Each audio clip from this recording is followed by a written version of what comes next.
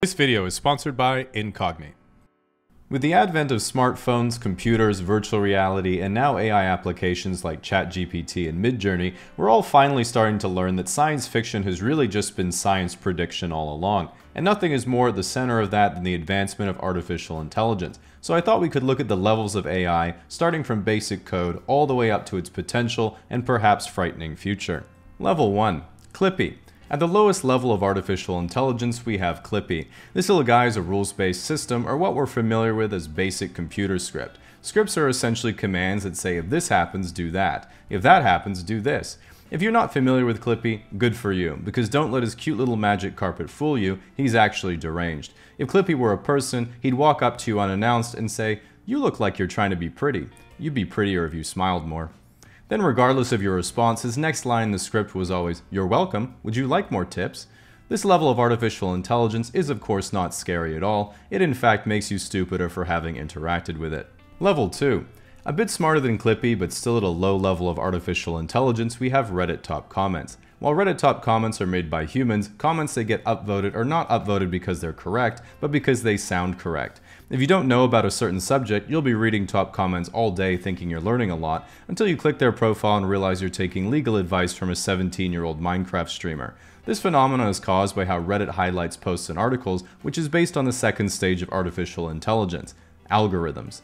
While algorithms are still forms of rules-based systems, many are very powerful, and long before man feared artificial intelligence, he blamed algorithms for his failures. If you lost money on Bitcoin, algorithms. No YouTube views, algorithms. Can't solve a Rubik's Cube, algorithms. Trash teammates in Counter-Strike, also algorithms. While most women would look at a guy and say, you weren't defeated by an algorithm, you're just not very good at your hobby. The reality is if a guy's been defeated by an algorithm, a woman wouldn't be looking at him in the first place.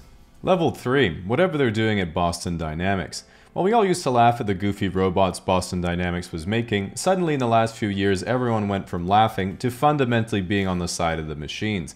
While Boston Dynamics still uses a lot of regular algorithms, one reason for this massive amount of progress in such a short amount of time was from advancements in level 3 artificial intelligence, which is machine learning.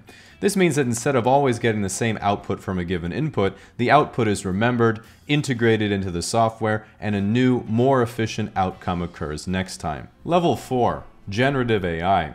Here we are at the present day, where we're all familiar with applications like ChatGPT and Midjourney, and this is where AI begins to finally mimic human intelligence, and in many cases exceeds it as well. For example, using an image generator, here I use the prompt futuristic affordable city housing, and it looks exactly how I imagined it. Here I asked it, loser of the 2024 federal election, and it knew right away. I even asked it for average casually explained subscriber, and I'm sure most of us thought we were looking into a mirror. Many people fear that this generation of AI is going to take everyone's jobs in the next 10 years, but AI has taken tens of thousands of jobs already, you just haven't noticed. For example, it's now impossible to tell whether the supermodel you're talking to on Tinder is an artificial intelligence or an actual Indian man. The thing is, every time a new groundbreaking technology comes along, everyone thinks it's going to take all the jobs, which it does, but then it creates new ones that didn't exist before. The Industrial Revolution got rid of the farmers, but created jobs in manufacturing. The internet's killed a huge part of the publishing industry, but created jobs in programming and social media. And while AI is eventually going to come for us all, currently these new tools really only have practical application at image creation and writing, meaning it's only the people in the creative arts that are going to be unemployed. So no change really. Level 5, Ana de Armas in Blade Runner. This is the level where artificial intelligence reaches a point where it's essentially analogous to our own intelligence. It can collect and remember sensory data, and if it has the right hardware, it's able to interact with and manipulate the environment just like a human. Because of this, human-level intelligence can be applied to specialized machines and be used for nearly everything. For this reason, some people believe it's extremely dangerous, while others see nothing but potential. I personally am pretty optimistic because all you have to do is look how it plays out in the movies. Take Blade Runner as an example. Lonely guy lives in dystopian future, climate change has ravaged the world, goes on an adventure, loses sexy AI robot girlfriend, doesn't fix anything. Now look what happens when you use an artificial general intelligence robot as the protagonist instead.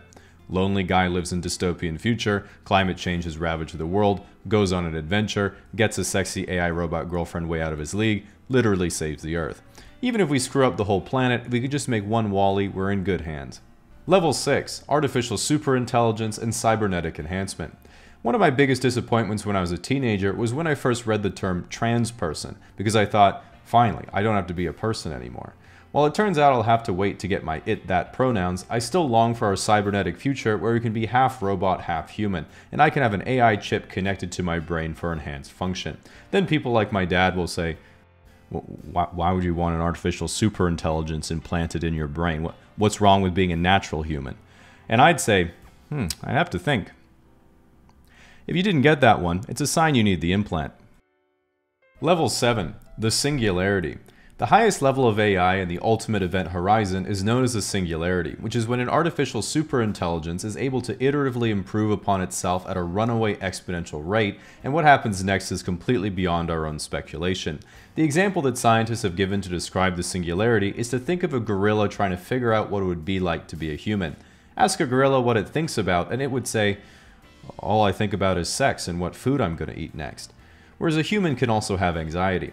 It's possible that it could allow far off science fiction ideas to become real, such as being able to upload our consciousness to a single system, and we all become one machine human super hybrid. It might extend our reach throughout the galaxy, or perhaps it'll see humans as an inferior species and enslave or annihilate us all. A lot of people are very frightened by what this may mean, but personally, I've hedged my bets. Either AI fails to reach a runaway point and our lives are just massively improved, or the dystopia becomes absolutely real, but my Nvidia calls are deep in the money. Level 8.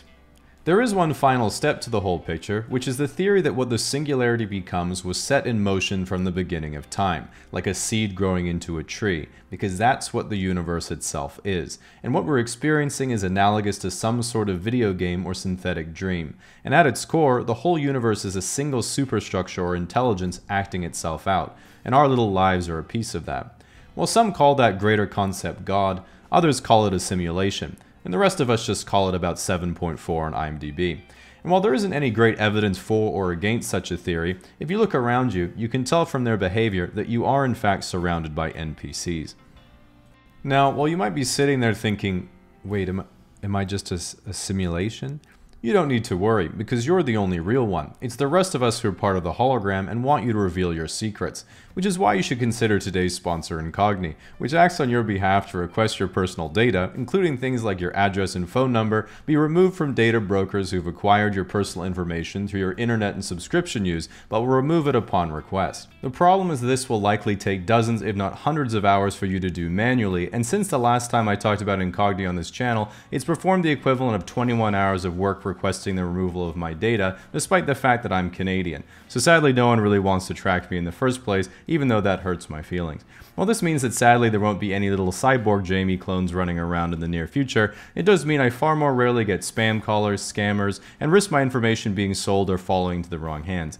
Incogni takes literally less than one minute to go from web page landing to sign up to running the service, and gives you an easy to read dashboard of all the successful removals, active processes, and requests sent. If you'd like to give it a try, the first 100 people to use the code casually at the link below will get 60% off Incogni.